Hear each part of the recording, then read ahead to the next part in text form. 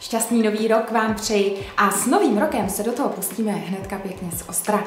V následujících šesti týdnech, tedy až do Valentína, na vás čeká výzva pro páry a s ní šest úžasných intimních cvičení, která rozhodně podpoří a rozvinou vaší intimitu ve vztahu.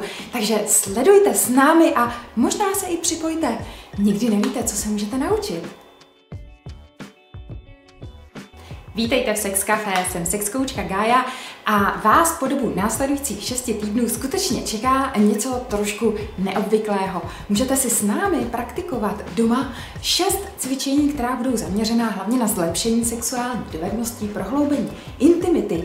U některých z vás možná i obnovení intimity úplně, že pokud tedy vymizela.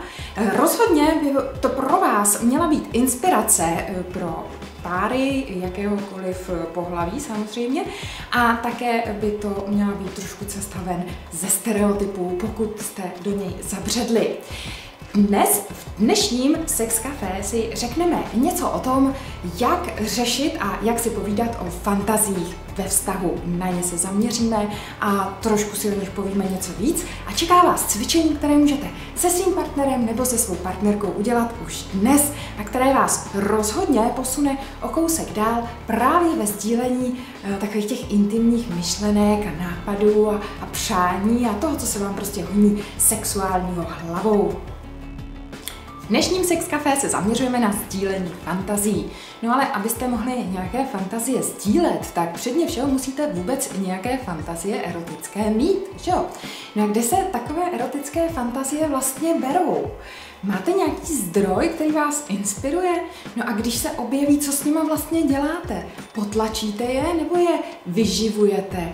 Snažíte se někam odehnat, anebo se s nimi trošku jako mazlíte, sníte, takové to bdělé snění během dne? Co vy na to?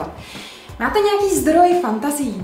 Pro většinu mužů většinou bývá ten zdroj nějaký vizuální podnět, obrazový spínač. Může to být obrázek, fotka, eh, docela dobře proto na muže funguje i porno, protože to je výborný zdroj obrazového potěšení.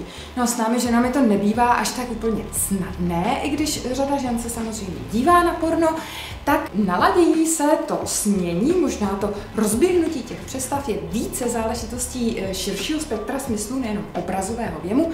Pro jsou důležité samozřejmě i zvuky, atmoška, čich, eh, možná i ten příběh, že jak se říká, takže možná ty filmy jsou pro nás jako užitečnější, že takže se pokuste v úvodu nějaké fantazie oprášit. Někdy to dá docela dost práce.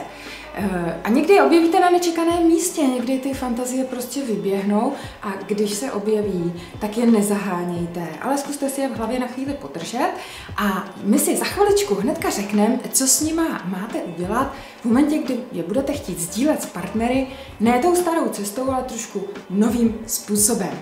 Celé cvičení k tomuto programu najdete na www.sexpomočkacafe.cz, kde se můžete po registraci zadarmo broustat archívem všech dalších videí po dobu jednoho týdne, anebo se za 99 korun rovnou zaregistrujte na dva měsíce a stihnete celý program výzvy pro páry až tedy do toho Valentína. Pokud nás nebudete sledovat dál, těším se příští týden na viděnou a s vámi, kdo pokračujete, jedeme dál. Thank you.